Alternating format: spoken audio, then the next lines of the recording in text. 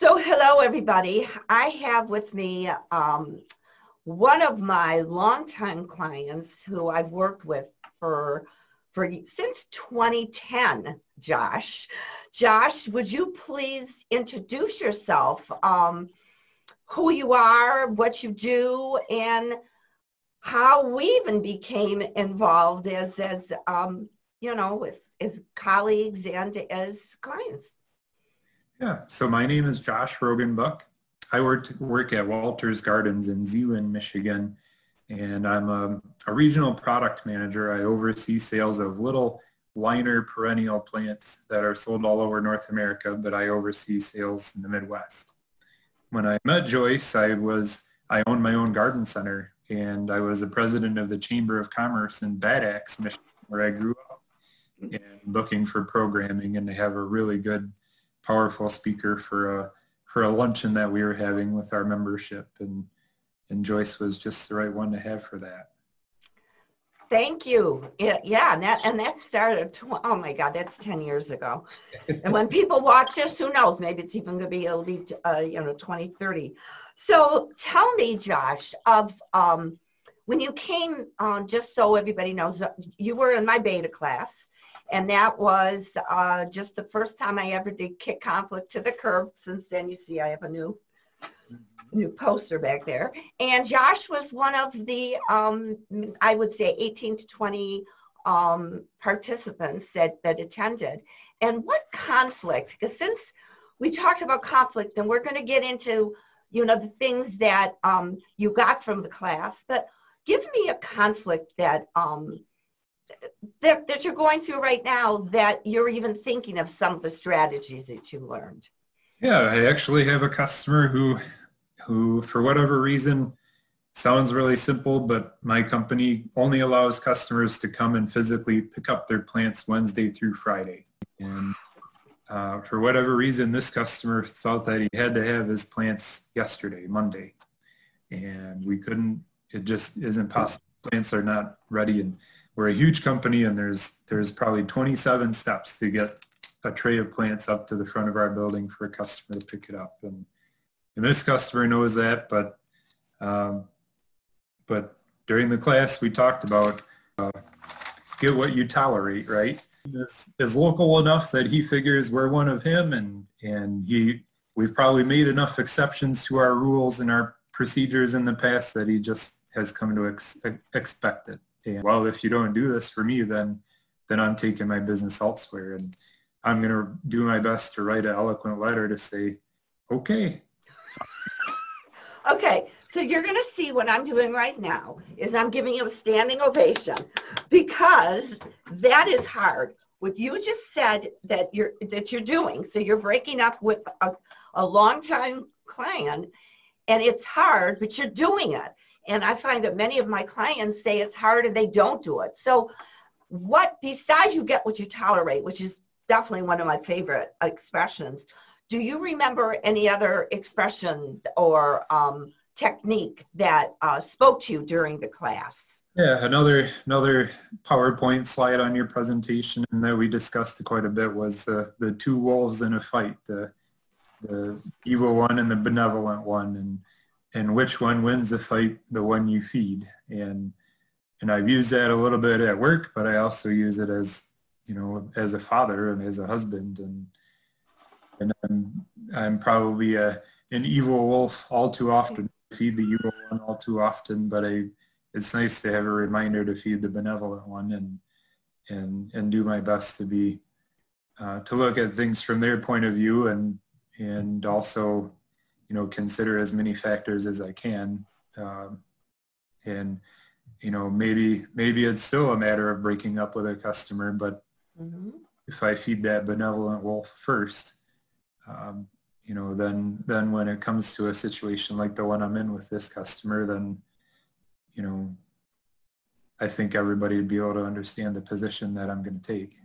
Yes, and that's a perfect um, statement about the, the evil wolf. And for those of you that want to know more about it, go on my blog and search uh, Good Wolf, Bad Wolf. And there's a, a video of this story.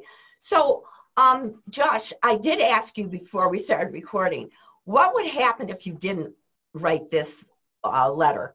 What would what would you and your team go through if you if you just let this customer get away with this? Those habits would just continue. I think you know we, he would continue to expect exceptions to the rule, and and all the people in our company would continue to be uh, affected by by the mistakes that that happen when we when we interrupt the process. Um, yes. And and that's not fair to to our workers or our all the other customers that we have. So what I think is great about that statement is as hard as it is, and this is where teams have to, I, I call this healthy client, uh, I call that unhealthy conflict, what you're having with this client, but you're making it healthy because you're doing something about it.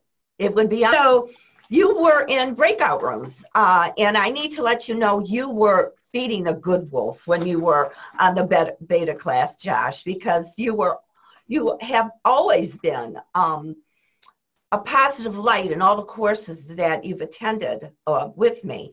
So you were in breakout rooms and because we used Zoom. So uh, what kind of experience did, was that helpful having you uh, meet with other people in the class or? Eh? Yeah, I think very helpful. It was, it was nice to, even if they were, I think especially because some of them were strangers, but I think inside inside of your own company or your own team, it's nice to do some some breakout rooms and, and have a, a topic to focus on, you know, to have the beta class in the middle of all the, the COVID-19 stress and, and all the worry that we were dealing with at the time. Um, it was really, really uh, helped us to focus and all the static and all the chaos and to be able to sort of bounce a few thoughts off of each other and say, are you dealing with this? Or yes. are you are you struggling with that? And and um, you know, the I think it's good to to hear your message and have you present, but it's also nice to to take those re, those topics and bounce them off of other folks too. And I'm going to take that as a compliment. In other words, Joyce, it's good. We want to hear from you, but there are times when can we talk? and I learned, Josh, that when I stop talking and let people um, break out in groups more, the uh, participants find it more enjoyable. So there's going to be, and, and you gave me some good feedback on that, by the way. You People told me go. Still remember the scarves that we handed around during your presentation. oh my God. And that was how long ago? 10 years. Holy moly. I forgot about that till right now. That is you're making this interview just a little bit fun. So my wife was a fellow business person back in Bad Axe, and she remembers that from. so if you remember the scarves, hopefully now I've gone a little deeper. Uh, so first of all, how if you could think of a word or a phrase working with me, what would that be? Well, I think I said it earlier. The you know the bring some some uh, focus to the chaos. You know, helps us to perfect settle our thoughts a little bit and and you know reorganize around around some things that maybe we we can't quite put words to, but um, but you've got a an idea of what people might might struggle with and and and help us to focus on finding solutions. Great, and I'm stealing that from you. Focus on chaos. I love that. That's Josh's saying. I'm going to tell you right now, you might as well start suing me now because I'm going to start using it. I think it's great. So tell me and tell the people who are watching this, this interview, um, why should they take the class? What would be um, a good reason? I think even the most grounded people can always use some some brush up on how to work through conflicts and and issues with their relations with each other. Um, you know, the best families go to go to counseling. Honestly, even if they were the best families to begin with, they mm-hmm. they get some some coaching and some direction and and and some uh, some focus in the chaos and and and it's always nice to have a an outside opinion. Um, thank you for such loyalty. Um, I call you one of my advocates because you refer you, you, you say yes to everything. I mean, I mean, Josh, I don't know. And I just hope that, I hope that you're part of the class again because I loved having you there. And I want to thank you so much for this interview. Um, it means a lot. And I look forward to working with you again, sir. Yep, likewise. Thanks.